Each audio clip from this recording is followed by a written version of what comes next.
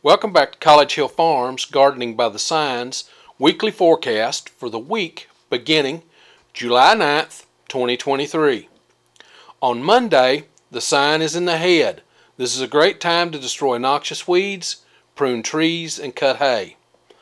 On Tuesday and Wednesday, the signs are in the neck. This is a good time for planting both above and below ground crops, especially for planting leafy vegetables. It's also a great time to plant to paint. On Thursday and Friday, the sign is are in the arms. This is a great day great days to cultivate and destroy noxious weeds. On Saturday and Sunday, the signs are in the breast.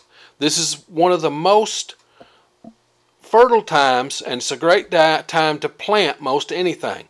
It's a good time to graft, bake, hand pollinate, and buy livestock.